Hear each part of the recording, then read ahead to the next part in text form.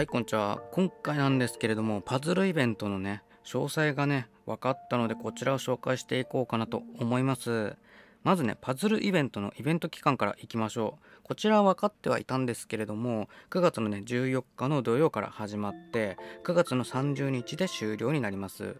でね14日はコミュニティでかつ巨大なキノコの出現日なんですけれども今回のイベント非常にあの巨大なキノコを壊すことが重要になってくるのでこの日はね忙しいことになるかなコミュニティでもやりつつ巨大なキノコにも意識して入っていきたい。まあそんな日になるかなと思います。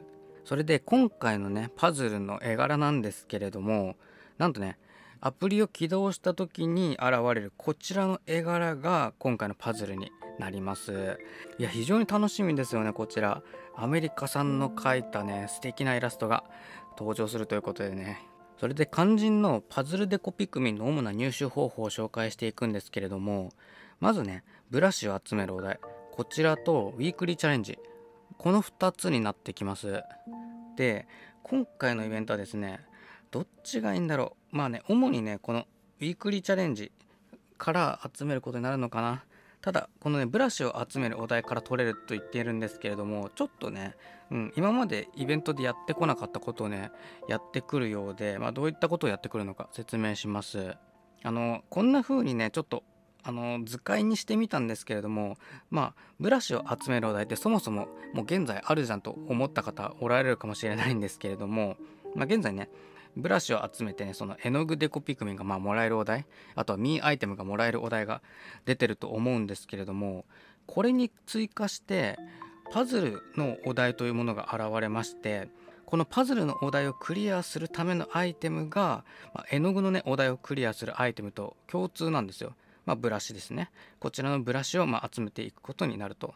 でこのブラシねもう皆さんすでにお持ちだと思います持ってると思うんだけれどもこのねブラシなんとねあの今持っている数がそのままパズルのお題のブラシを集めるお題に引き継がれるんですよ。例えば絵の具のねお題ですでにねこちらのブラシをね5000集めていたとしたら新たに出現するパズルのお題でもブラシをね5000集めた状態からスタートできるというわけです。つまり絵の具イベントですでにね頑張られている方のその頑張りがまあねそのままパズルのイベントでも反映されるというわけですね。だから現在開催されている、まあ、絵の具のイベントを、まあ、ちゃんと進めていた方だったらパズルのイベントでもかなり楽をね、まあ、できるんじゃないかなと思われます。あとはまあウィークリーチャレンジですね。こちらもまあそんなに説明することはまあないんだけれども、このウィークリーチャレンジクリアすることで金の苗確定で1個もらうことができます。このウィークリーチャレンジのいいところは、チャレンジをクリアしたら必ず苗が手に入るところなんですよ。これが非常にありがたくて、まあ、ただねチャレンジを一緒にやる仲間が、ね、いなかったらちょっとね困る部分もあるんでそういった方はねその周りにチャレンジを一緒にやる仲間がいなかった場合は誰とでもウィークというものからねその選べるんでそちらからウィークリーチャレンジを参加してみてください。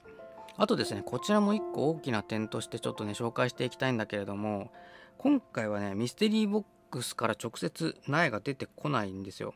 あのね、キノコを破壊するじゃないですか。キノコを破壊して、まあ、ミステリーボックスがま出てくるじゃない出てくるじゃないですか。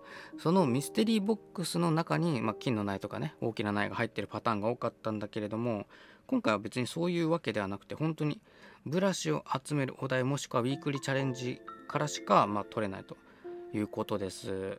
こちらの変更はまどう響くんだろう。うーん。このブラシを集めるお題でどれぐらいの感覚で、まあ、苗がもらえるのかっていうのがちょっとまだわからないから何とも言えないですよねこればっかりは。まあ、イベントが始まって、まあ、どれぐらいの感覚で、まあ、苗がもらえるか次第なんですよね。うんただね今回まあ不思議なキノコを破壊することで、まあ、金の苗が直接取れないということなんだけれどもやっぱりねキノコはたくさん壊すことになるかなと思います。まあ、なんでかっていうと今回のイベントはなんとねミステリーボックスから稀にですけれどもペイントブラシが500出てくることがあります、まあ、このブラシが500出てくるかどうかに関しては完全に運なんですよ。運だからまあ出し方とか特にないと思うんですけれども、まあ、こういったボーナスも今回設けられてまして。ただねうん出にくいと思われる。僕はだってあれうん土日じゃあ土日じゃないわ。日曜日でキノコをえっとね6個破壊しました。巨大なキノコ。6個壊したんだけれどもあのブラシが500出た回数は0回でした。だからやっぱりそのこのブラシ500っていうのは稀に出てくるものだと思われます、まあ、そもそもねこのペイントブラシを集めないとその苗をねその手に入れることがちょっとできないから結局はねその巨大なキノコ破壊することがまた大事になってくるかなと思われるんですよね。でなんで巨大なキノコかというと、まあ、当たりのボックスですね。あの装飾が豪華なボックスがかなり必ず出現するんで、まあ、極力ね巨大なキノコが生えている土日はね、まあ、巨大なキノコに、ま挑むとよろしいんじゃないかなと思います。あとですねこちらのパズルデコピクミンいわゆるお仕事力特攻がねあるんだけれどもこのお仕事力特攻がかかるパズルはねあの今回登場するパズルのみです。パズルデコってね実はあの今回が初じゃなくて昔も出てたんだけれどもその昔出ていたパズルデコにはお仕事力の特攻は今回かからないとのことです。あのこちらはあの運営さんにちょっと確認してみたんですけれども、まあ、昔のデコピクミンに関しては今回のねお仕事力特攻はかからないとのことです。おちょっとね今キノコを開こうと思ったんですよ。あのね昨日寝る前に入った巨大なキノコあったんで、まあ、そちらあのリザルト見ようかなと思ったんですけれどもそうだった。これもありましたね。その板垣リヒトさんと歩くパーティーウォーク。こちら皆さん参加されましたかね？僕は参加してたんですけれどもえっ、ー、と OK を押してはいこちらスタートしてますね。このパーティーウォークの参加方法に関しては過去の動画あの右上にリンクを貼っておくんでこちらから飛んでみてください。あ、すごい。板垣入人さんが天から我々を見下ろしてくれていますね。なんかすごい、神様みたい。おもろいわ、これ。で、何人参加してるんだろう。あ、でも、わかるかもしれないですね。この人数が。あ、書いてあるじゃん、ここに。いや、えー、これやばすぎ。3万4千人ですって。すっごい。僕がね開いた時はあのね5,000人ぐらいだったんですけどやっぱり板垣さんさすがだわ。素晴らしいですね。でまだスタートしたばっかなんですよ。えっとね撮影時間が今ねお昼前ぐらいに撮っててまあそれなのにもかかわらずなんと歩数は2000万歩。いきますねこれ。いやこれどれぐらいいくんだろう歩数。1週間しか開催されないけれども。えー、1億とかいくんじゃないかな下手したら。じゃあちょっと板垣さんのプロフィール見ることできるんでこちら見ていきましょう。はい、パーティーのホスト。本名でやられてんですね。あ、そっか、そうそうですよね。うん。で、まだちょっと歩かれてないということで、で、コーデを見るっていうの、あ、そう見れるんだ、コーデを。ちょっと見ていきましょうか。はい。おー、結構、あ、いわゆる課金アイテムをこう購入してがっつりコーディネートされてる感じですか？あ、いいですね。素晴らしい。もうおしゃれに、だってまとまってますもんね。お、X のね、板垣いい人さんのアカウントに飛びましたね。お、待って。パーティーウォークのお知らせ早速ありますね。なるほどね。いいですね、こちら。あ、これですね。えー、っと、はい。まあ、主にここの QR からね、まあ、参加できるかなと思います。あとは、えっと、これ、ここの参加こちらをね、タップすることで、まあ、それだけでも、ま参加できるかなと思われます。はい、そしたらね、ちょっとお話の続き、ちょっと戻りましょう。えー、っとね、キノコの報酬、まだね、見て、見れていないものがあるんで、そこから500出るか、見ていきましょう。さあ、巨大なキノコに3連入って、まあ、いくつ壊れたんだろう。ちょっとわかんないけど。1個目で、はい。まあ、この当たりボックスを引いていく必要があると。で、今頑張っても OK です。今、今、絵の具のイベントを頑張っても、その頑張った分のそのブラシ引き継がれるんで、うん。本気を出すのは今からでも全然いいですよ。200。はい。だ500が見たいんだよね。ああ、壊れた。よしよしよしよし。頼む。500見せてくれよ、今回。500の場合は見た目同じらしいです、箱の。あ、また200だ。本当に出にくいですね。今のところ8連続で出てないですよ、これ。ちょっと待って、追加で、こちら入っちゃう。もう、もうここまで来たら追加でいっちゃいましょう。あの、ねパズルでこうイベントがスタートしてから頑張るんじゃなくてもいいのが今回ありがたいなと個人的に思いました。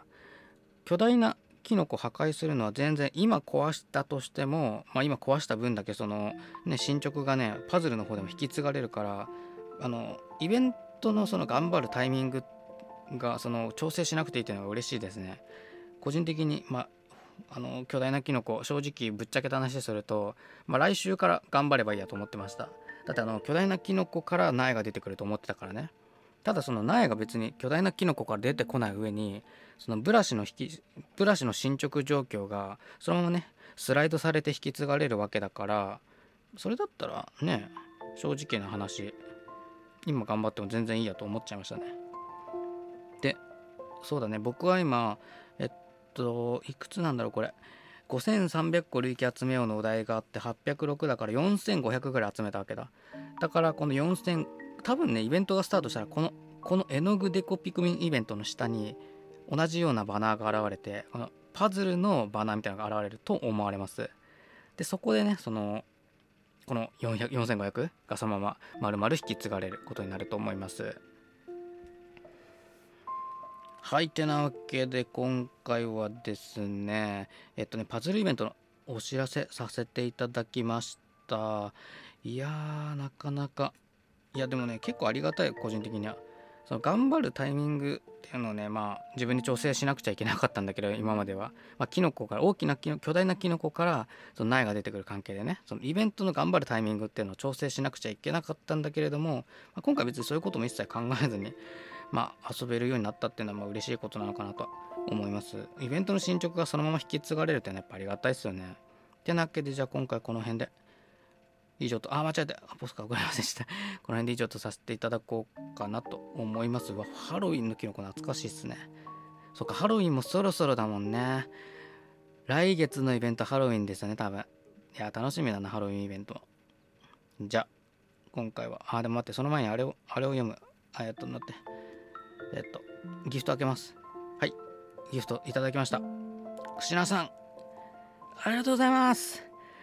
あのねクナさんはねもう僕があの四つ葉の岩ピクミン一番好きっていうの知ってるんですよ。はい。一番好きだってこと知ってるから四つ葉のクローバーの岩ピクミンにブーゲンビリアを咲かせてくれてるわけです。ありがとうございます。じゃあこの辺で以上とさせていただきます。それじゃあありがとうございました。